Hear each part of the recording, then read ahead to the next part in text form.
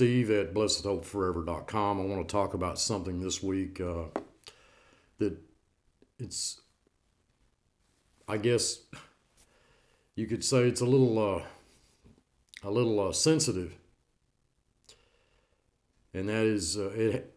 That has to do with chastening, uh, scourging, and so we're looking at Hebrews chapter twelve which begins with laying aside the sin nature that so easily entangles us. That's Romans 6:11. Reckon yourselves to be dead indeed unto sin, but alive unto God in Christ Jesus our Lord. And run with endurance the race set out for us, fixing our eyes on Jesus, the author and perfecter of our faith, who for the joy set before him, endured the cross, scorning its shame, and sat down at the right hand of the throne of God. Consider him who endured such hostility from sinners, so that you will not grow weary and lose heart. Not grow weary and lose heart. We've been looking at for several years now, seven years, I guess, uh, at how wonderful and how marvelous and how majestic our Lord Jesus Christ is. And we found that in his sacrifice, he has, by that one sacrifice, perfected forever those whom he is setting apart. And we've been introduced to the faithfulness of that God who provided such a complete sacrifice. And he has given us this testimony in the mouth of more than two or three witnesses. He's given us many more. Many have been called to testify to testify of the faithfulness of God in their lives. When we look at their lives, God has freely, honestly, openly recorded the history of, of them and their lives men who murdered, men who stole, lied, cheated, and God knows what else, and yet in whose lives God was faithful. The 11th chapter of Hebrews tells us that in God's faithfulness, He determined that there would be a perfection in the Lord Jesus Christ, and that these two to three witnesses, without us, would not be made perfect. And so the Lord Jesus Christ Himself is the basis of all of that faithfulness. Now, we are commanded by God to consider diligently the one who endured such contradiction of these sinners against himself, lest we become weary and lest we faint.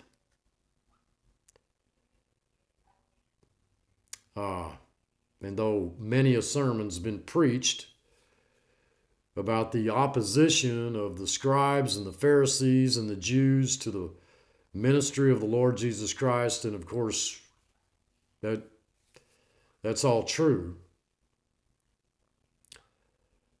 I ask you folks to add to that the fact that the great contradiction that Christ endured was from us. We were his enemies. We were hostile to him. We were not believing him, not receiving him, not serving him. And yet, in that condition of enmity and hostility, he died for us that we might be made the righteousness of God in him. I'd like to direct your attention to the 12th chapter of Hebrews. You and I haven't done what Christ did. We have not resisted unto uh, the shedding of blood in the, in the constant in our constant battle against sin. And I believe the reference in verse 4 is to, is to the sacrifice of the Lord Jesus Christ in our place. It isn't just torture or death, but it's the death that made possible our redemption. Dearly beloved, there is no way that we could have any part in that. I think that's the purpose of verse 4. Now, I don't want to skip over this lightly. You have not yet resisted unto blood. Now, too many people have looked at that and said, well,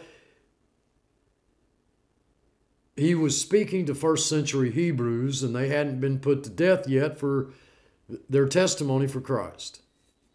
Stephen had. Stephen was already stoned before Paul the Apostle ever became the Apostle. By the time that this epistle was written, some had already been martyred for their faith in Christ. I do not think that that's the purpose of the verse. There is no way, no matter what happens in your life, there never could be a comparison with what Christ has done for us.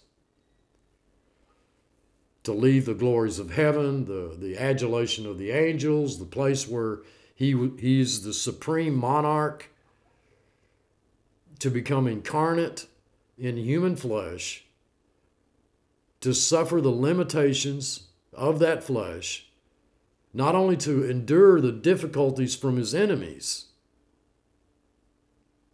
but the contradiction of those for whom he came to die. And, and for who those whom he came to pay the price of redemption. No way could that ever happen to us. But you've forgotten something. You've forgotten the exhortation which speaketh unto you as sons, verse 5. Underline that, as sons. If you have the authorized version, it says children, but it's sons.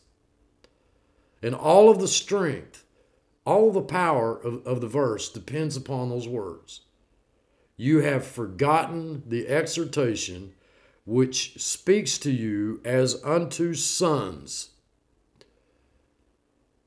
My son, despise not thou the chastening of the Lord, nor faint when thou art rebuked of him.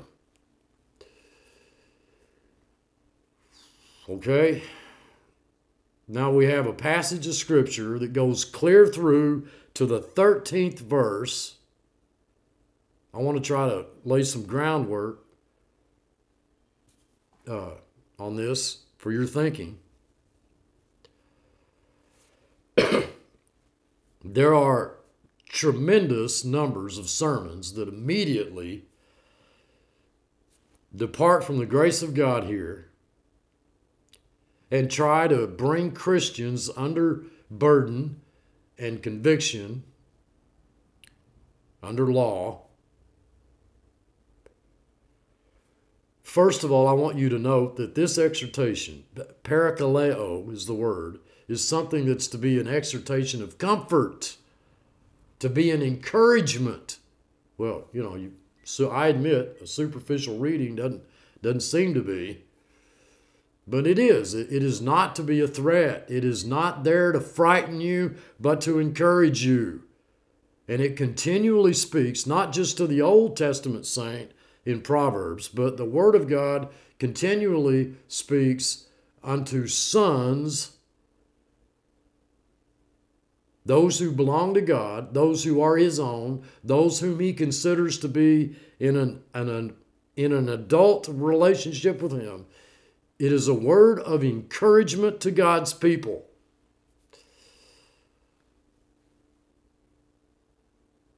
All right.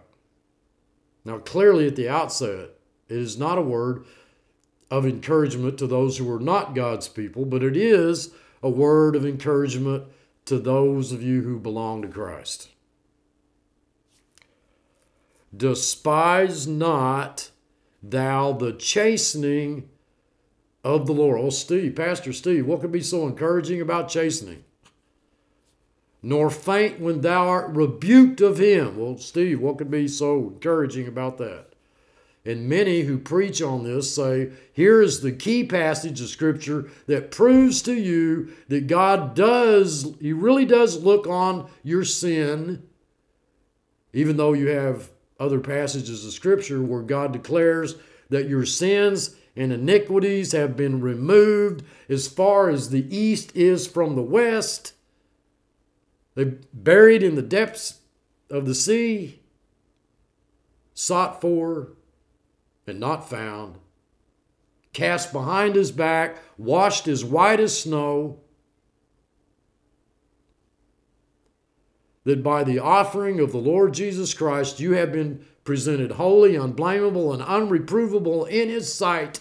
Yet, in the light of this great body of Scripture, there are those who re- actually rejoice in this passage of Scripture, declaring that here is clear evidence from the Word of God that God has not, not forgotten your sins, that He has not buried them in the deepest sea.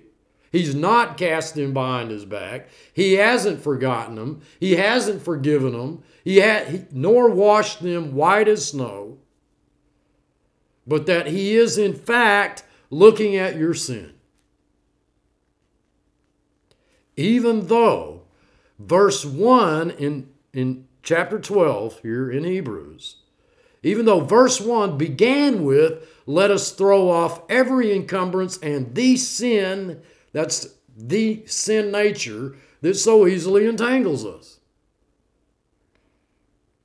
do not disregard the fact that we are here called sons. Underline that in your Bible, highlight that. We're called sons. What did it cost God to call us sons? The passages from Proverbs, I was taught, and I've been told many times by those who are supposed to be experts, that God being our Father is a New Testament truth, and yet this same concept is repeated in the eighth chapter of Deuteronomy, where God declares to the children of Israel that He is dealing with them as with sons.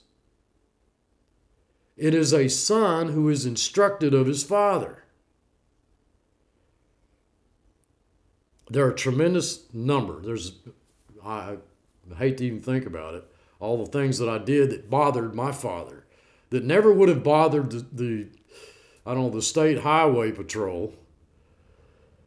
You know, they, they never cared whether I mowed the lawn. They didn't care, you know, whether I was a, a little bit, you know, snippy to my dad or, or whether I told him a lie.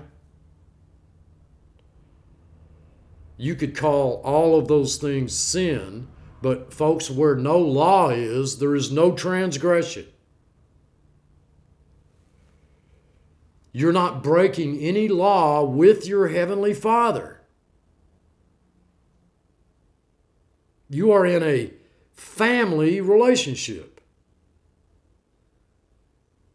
And God very openly, both in the Old Covenant and in the New, speaks of His children as sons.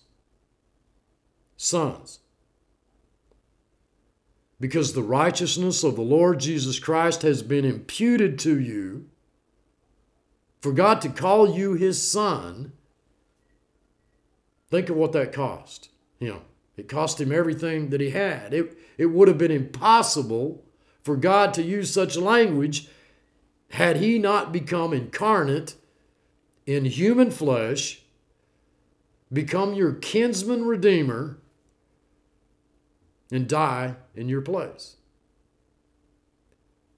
So, is it really unusual then that, that, for a loving Heavenly Father who paid such a price, a price that defies human description, to be interested in you? You are precious to Him.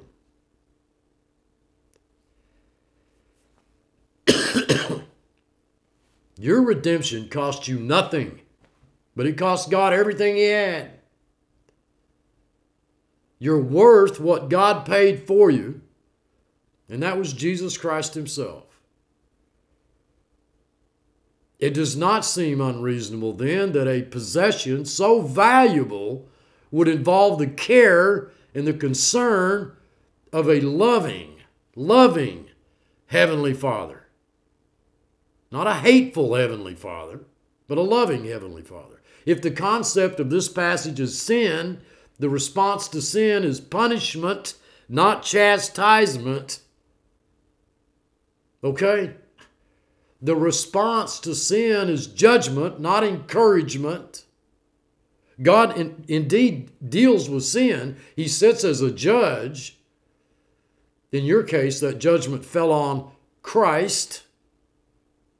And it, it can can't it, it no way can it fall on you. But in the case of God's enemies, it falls on them. But in this case, he's dealing with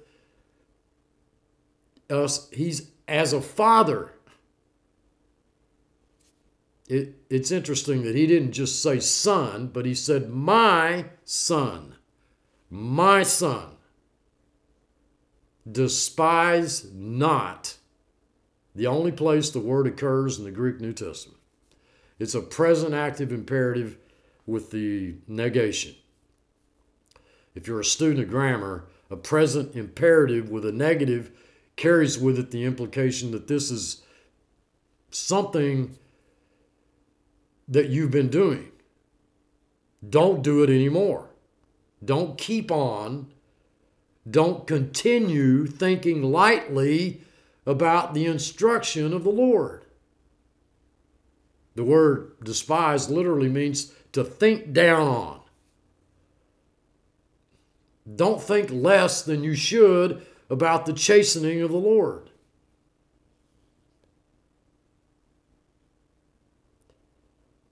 You know, you, you lose a tremendous amount in this passage if you take chastisement as a whipping for sin. You know, like your Heavenly Father taking you out to the woodshed for a good old fashioned butt whooping.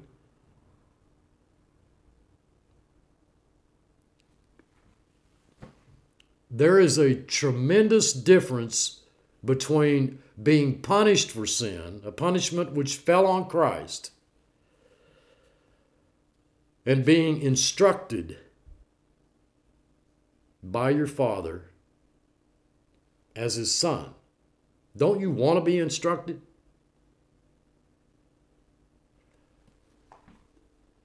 Why isn't learning wonderful at the hand of the Lord?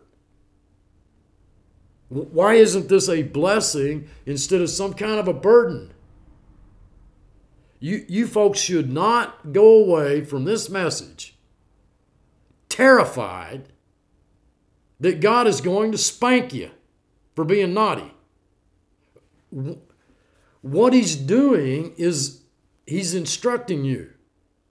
Don't think little of the instruction of the Lord. Don't think down on it. And, and that's, I believe that's why the translators translated it despised.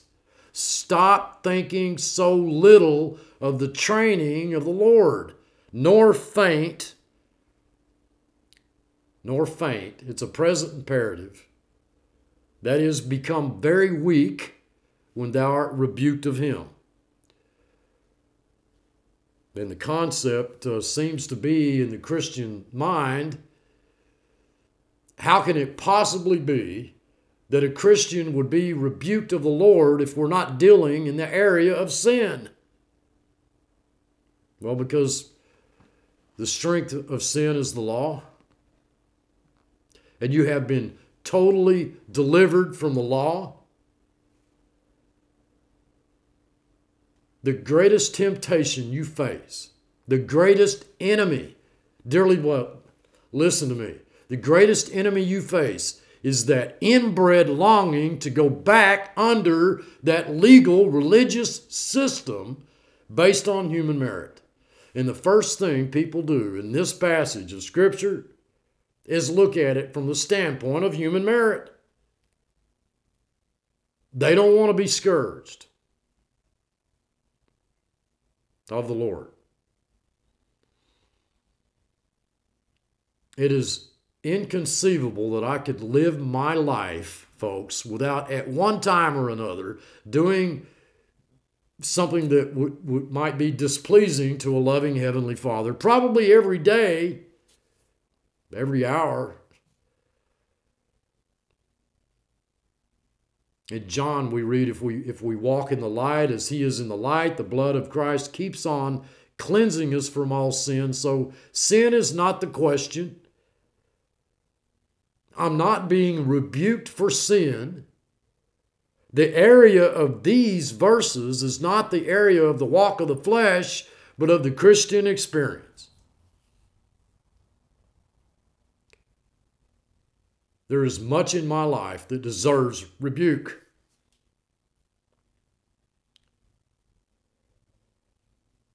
As I've already pointed out, every single aspect of my life belongs, it all belongs to the Lord.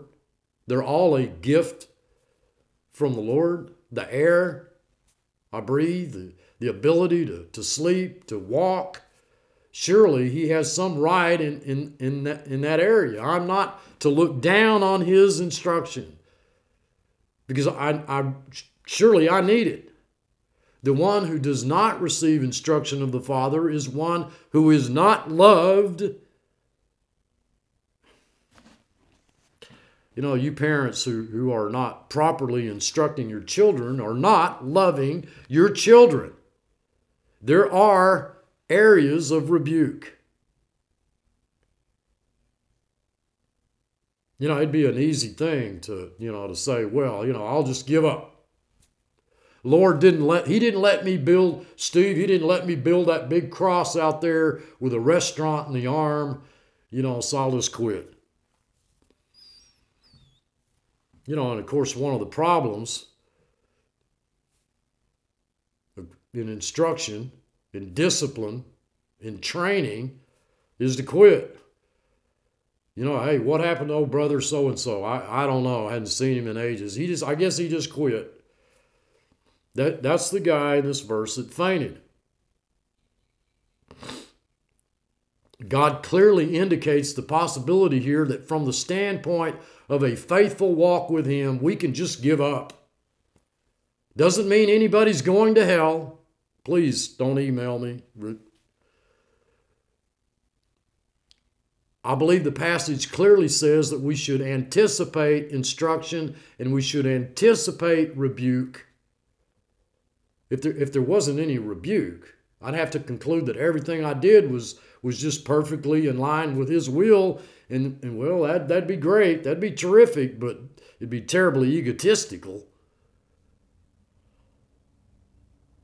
it would also indicate that there would be no need for instruction now i may be wrong here but i am suggesting to you folks for your own thinking that instruction without rebuke is not instruction.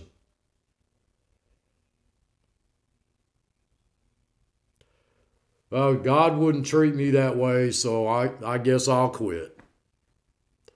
Steve, it sure it sure took a lot of spirit out of me. You know, I think it's easy to charge God with partiality. I mean, well, you know, look at that person.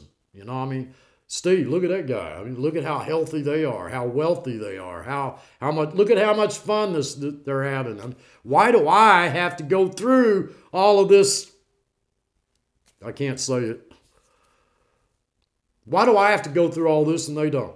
Why me? Why me? We can argue why me. I, I hear it almost every day. Why me? Can't God do with you as He pleases? He, he bought you you are absolutely His. If you're to be a Stephen stoned at, at an early age, is that bad? If you're to be a John who lives for many, many years but finally dies in isolation, is that so bad?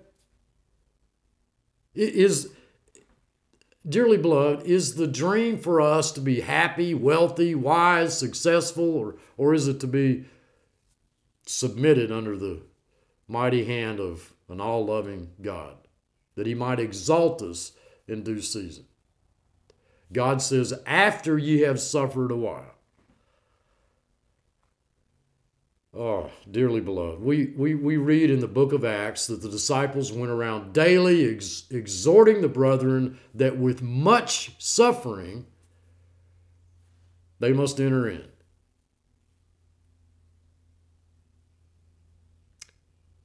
And there, there seems to be some place in the mind of the Christian, a tiny, I don't know, cell of, of rebellion that says, Why? Why? When my father owns the cattle on a thousand hills,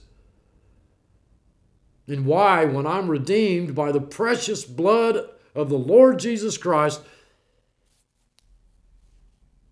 why is suffering such a part of that experience? And yet, it's what you know in every other aspect of life. Isn't that interesting? You're not going to be a famous bull rider without suffering. All right, I got a friend, he's still got the, the hole in his hat.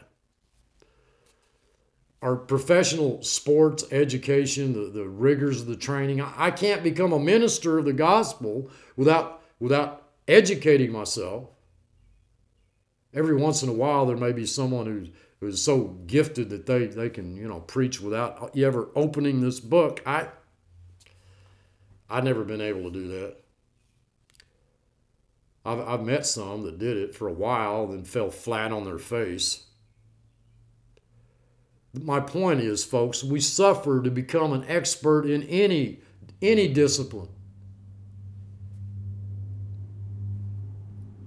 You know, I hate, to, I hate to tell stories on my dad, but I believe he anticipated that if he had just buy, if my my dad thought if he'd just buy him a guitar, he could pick it up and he could play it, and it's he'd sound like Roy Clark. But boy, when he played it, it didn't sound like Roy Clark. And so he decided it wasn't worth the discipline. Why, in every other area of life, are we willing to suffer, to anticipate, to expect, in fact, to actually enjoy instruction, and yet we don't, we don't, we don't hear? You know, I, I want to learn this. I want to run that computer. I want to know how to build that house. I want to know how to. I want to. I want to know more than that. What that software program knows, or I, want to. I want to be better than Tiger Woods, or I want to be the I want to be the the best bull rider there ever was, Justin McBride or somebody else. Or, you know, we're eager to do it. Yet when it comes to our walk with Christ, there's some kind of little fleshly rebellion that says, "Why me? Why should it be like this? Why should it be this way?" God is instructing us in in the 10th verse that it's it's so that we might become a sharer in his holiness. And despite what you might think, holiness is not sinlessness, but separation to God.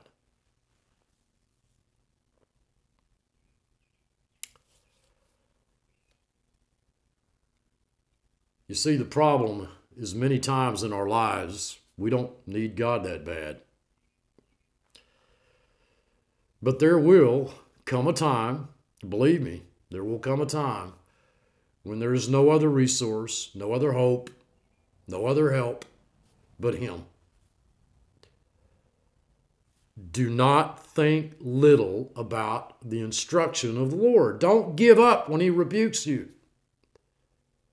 Re- rebuke's a marvelous means of instruction if it's handled by one who knows how to handle it. And and it's done in love. And that's God. He is not dealing with us as enemies, He's dealing with sons.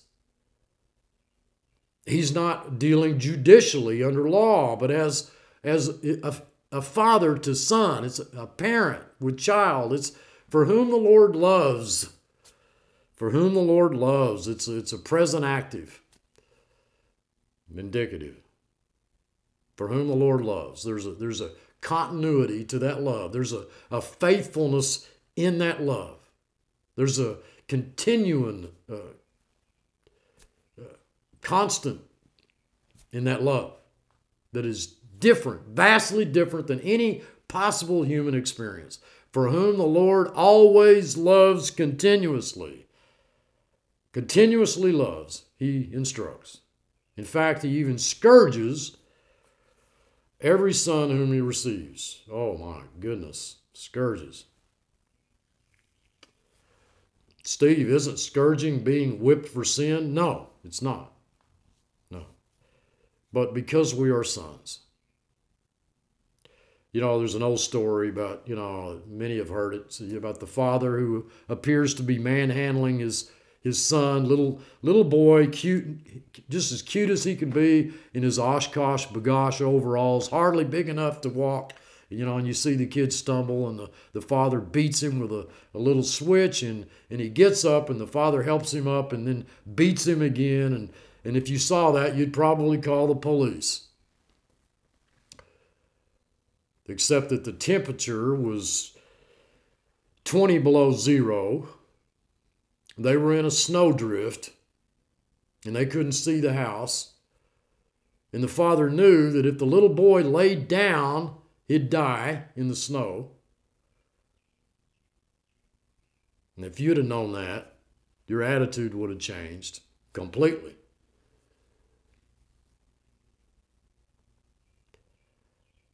I do not believe that we should see in the word scourge the idea that, that you have you've been naughty. And so God now has decided to bust your behind. I believe that takes people's minds away from the truth of this message.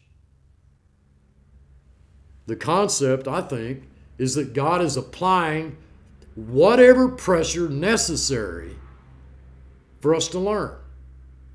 And He does that to every son whom He's receiving. Highlight the word every. Every son. There are no exceptions. Don't write me and say, Steve, he never chastens me, he never scourges me, he never. It is vastly important if you don't do anything else that you underline the word every in verse 6 so that when you look at those around you who seem to have it so good, you won't think that they don't have any trouble at all. Oh, but Steve, Pastor Steve, if, if they only knew the load I carry. Folks, there is no place whatsoever for self pity. There's absolutely the likelihood that God is not training and using whatever is necessary to make sure that training works the same way in your life as, as He is in someone else's. But believe me, it's in every son whom He's receiving. Everyone. After that, you have suffered a while. Make you perfect, establish, settle you, strengthen you.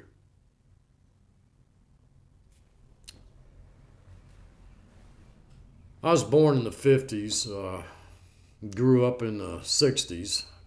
We lived fairly well. We, we didn't have much. I left high school, joined the Navy, came home to work cattle and horses. I had to, I had to work my way through college. I needed some kind of an income. So I did ranch work. And I, I finally found that I could uh, actually do that.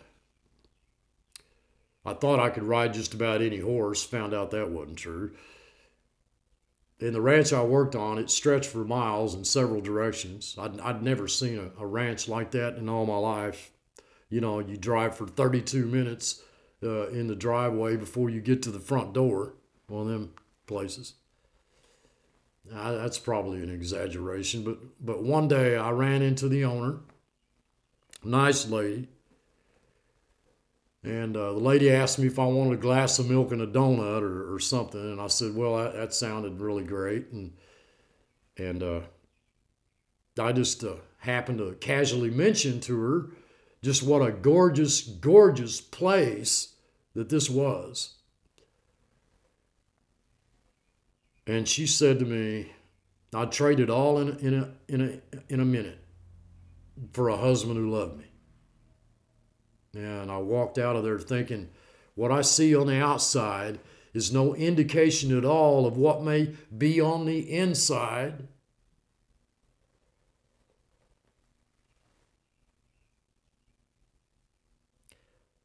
You know, maybe that poor person, too feeble to walk or, or ride, knows blessings I'll never know. But let me tell you, God declares that this chastening and scourging is in every son whom he receives. I'm sure it's different for you than it is for me, but it is every one of us. And it is because because he loves us. There is purpose in his rebuke, his child training, his scourging. It is so that we partake of his holiness. The text makes it clear it's so that we bear fruit don't despise it. Don't faint. That is, don't give up. Of course, now this is where I get to tell you that this is what the new man always does. I describe that, that new man as the one who understands his position in Christ, who understands that God is always faithful even when we're not.